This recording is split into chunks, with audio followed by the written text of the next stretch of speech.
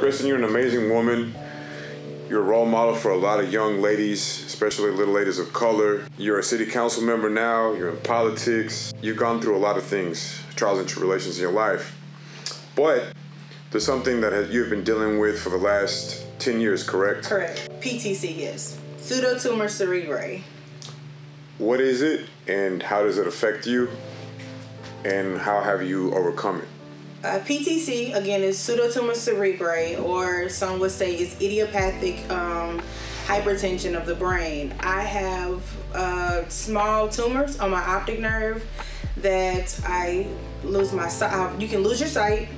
Um, you have this weird, loud, ringing, washing sound in your ears constantly. You have constant migraines you can go through numerous surgeries, um, and that's kind of where my story is. I started again, I was diagnosed in 2010. Um, this is pretty much me complaining about having migraines, and I'm saying migraines to where I would not move out my bed and I would sleep all day and night. I would go to the emergency room and they would just say, There's nothing wrong with her, she's fine. But then I started having seizures as well and that's when a doctor told me you need to get your eyes checked. And i went and got my eyes checked and i went to that ophthalmologist and he was like well i don't see anything but i'm gonna send you to a specialist who can see more than i can. And i went to that specialist and he said miss washington i'm sorry but you're to go legally blind in both your eyes if you don't have this emergency surgery. You have small tumors on your optic nerve that's causing pressure, it's causing pain, and it's causing you to have high blood pressure on your brain. And if you don't have this surgery, you can lose your, not only your eyesight, but it can be very detrimental to your health. So my parents and I decided that day I was going into surgery, so that was a Monday. That Thursday, I was on the operating table. They were going through my eyes, releasing pressure and fluid so that I can keep my vision. Um, unfortunately, I did lose my vision in my left eye, and I had I've had 87 surgeries. My last surgery that I claim that I'm having was in December of last year, 2019.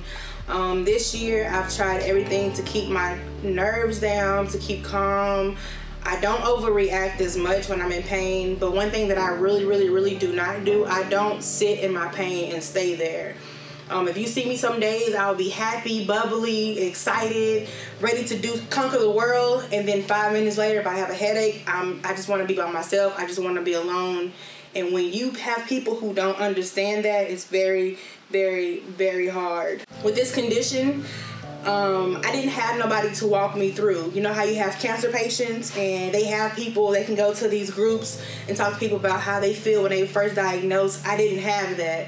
So I used my pain, my hurt, I used all that to start me, my YouTube channel, which is my name, Kristen Sierra. And I started going through daily things that I was going through with my condition when I would be up and I would stay up for like three to four days and then I would go to the to my doctor and they put me on medication, put me to sleep, but I wouldn't go to sleep. So I would have to go to the emergency room.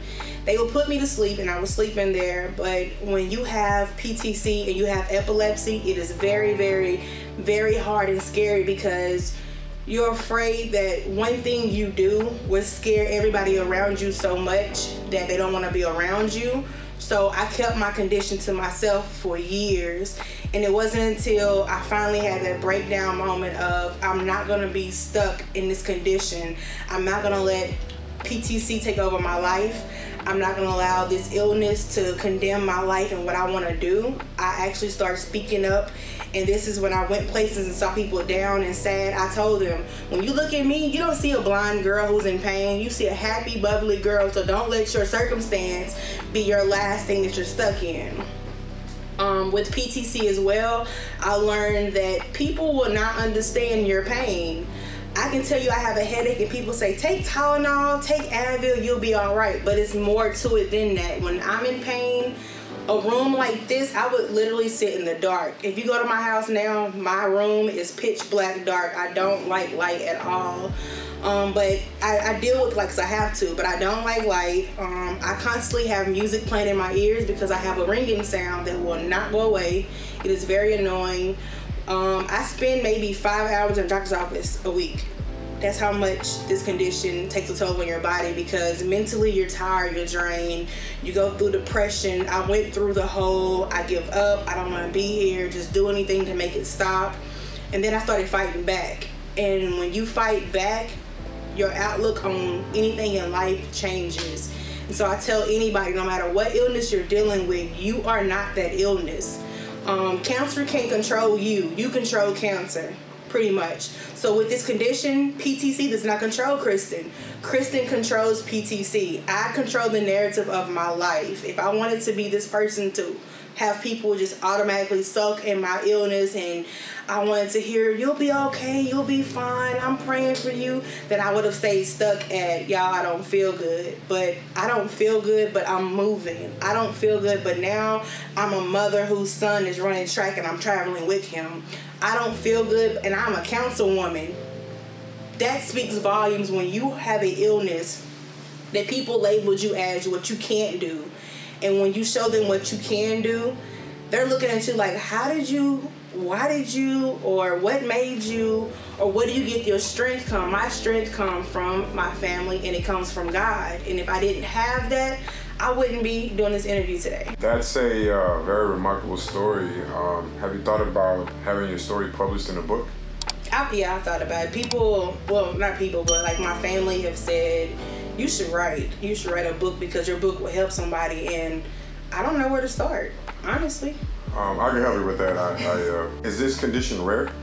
Very rare. Um, when I first found out I was diagnosed, when I would research, they had this whole like one in like a hundred thousand would get it. But then as years went on, I started seeing that black women could get it. Then I started seeing that obese women can get it. And so honestly, I don't think doctors really know how to treat the condition because nobody talks about the condition. And I say that because I talk to people again from London, from Paris, from New York, from Florida who see my videos and they find me on Facebook and they tell me, my doctor don't know what's going on with me, but I saw your story on YouTube and your symptoms I have and when I brought it up, they ran the test and I actually have this condition. What do I do next? And I, my first thing is you have to research for yourself. Don't rely on what doctors tell you and you go with it because I've had doctors tell me, I want you to take Diamox, for example. I hate Diamox. And anybody who has this condition, they're on Diamox, they'll tell you Diamox is not of God. Um, that's one of those drugs that you take, you're drowsy, you're out of it. You can be talking to somebody, you don't remember the conversation. I've had days on Diamox where I didn't remember actually getting up. And I stopped my Diamox and told my doctor, you're not gonna have me walking around like a robot or like a crackhead, not knowing what's going on. I want to be aware at all time of what I'm doing, what's going on around me. So I stopped my Diamox and I said, we have to find another way for me to get better. And so my doctor even told me, You're the first patient that I've had in years to force me to find other avenues to get well. And if you can't force your doctors to work for you in a way that is for your body, your health, your longevity, then you need to find a new doctor. Hey, if you want to hear more from Oro Nation, please make sure that you like, subscribe to the channel. But don't just stop there. When you see the little bell notification, make sure you click on that and you will receive all the notification whenever they post anything, whether it's a video, a conversation, something fun. You want to make sure that you have the notifications turned on for this channel because it's something you don't want to miss.